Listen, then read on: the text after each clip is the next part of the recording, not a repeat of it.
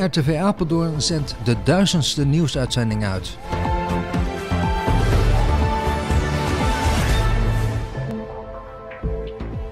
Vandaag kijkt u naar de duizendste nieuwsuitzending van RTV Apeldoorn. De allereerste nieuwsuitzending was op dinsdag 25 januari 2011.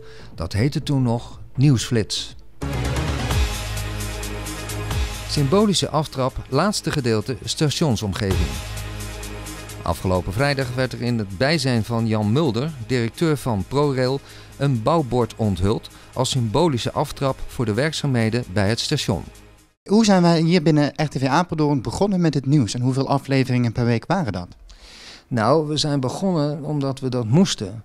Uh, we hadden eerst een, uh, een, We deelden de zender samen met uh, Omroep Gelderland, afdeling Apeldoorn. En die maakte nieuws.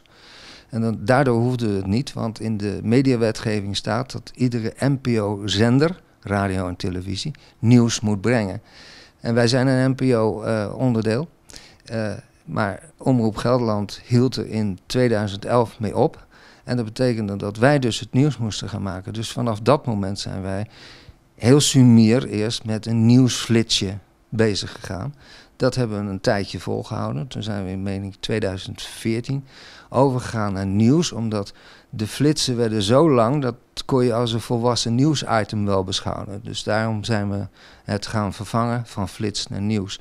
En de nieuwsuitzendingen zijn uiteindelijk uh, langer en, en, en, breder geworden. En we zijn ook veel vaker gaan uitzenden. Op een gegeven moment zijn we overgegaan naar drie dagen in de week.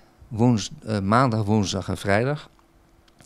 En uh, ik meen in 2014, die kant op, zijn we overgegaan op vijf dagen.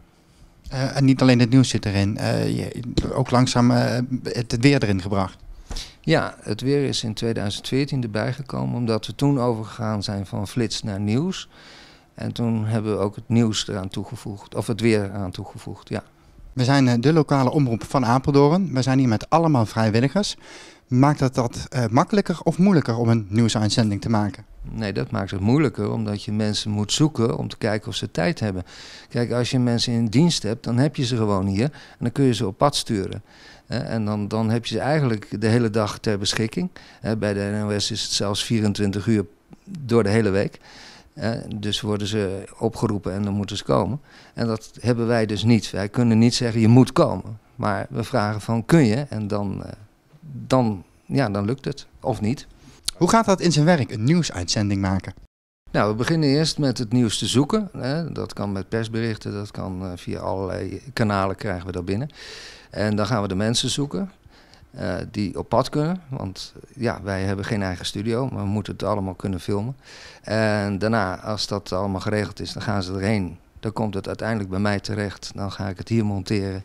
En dan heb je het uiteindelijk in een heel kort verhaal. Krijg je het dan uh, s'avonds op tv. Hoe lang ben je daar ongeveer mee bezig?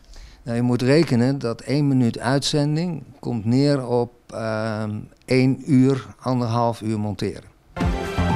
Merk je nou ook dat we meer bekendheid krijgen hoe langer wij hiermee bezig zijn? Nou, het nieuws is wel iets wat opvalt. Uh, mensen willen toch graag hier in Apeldoorn en omgeving weten wat er in hun plaats gebeurt. En uh, dus is het nieuws zeker belangrijk. En we hebben wel geconstateerd dat uh, het nieuws wel heel veel bekeken wordt. Ja, het valt ook ons op dat in het verleden, heel lang in het verleden, werd er nog wel eens gevraagd: wie zijn jullie? Nu wordt er gewoon gevraagd wanneer wordt het uitgezonden. Dus dat geeft al aan hoe uh, de bekendheid binnen het nieuws, maar ook met andere programma's binnen RTV Apeldoorn, uh, bekender zijn geworden. Morgen begint de dag zonnig en droog. In de middag is er kans op een enkele regen- of onweersbui. Het wordt 26 graden. In de avond en nacht is het vrijwel bewolkt met geregeld buien. Het koelt dan af naar zo'n 14 graden. Zondag en maandag overheerst de bewolking en vallen er geregeld buien. Overdag wordt het rond de 20 graden en de nachttemperaturen liggen zo rond de 13 graden.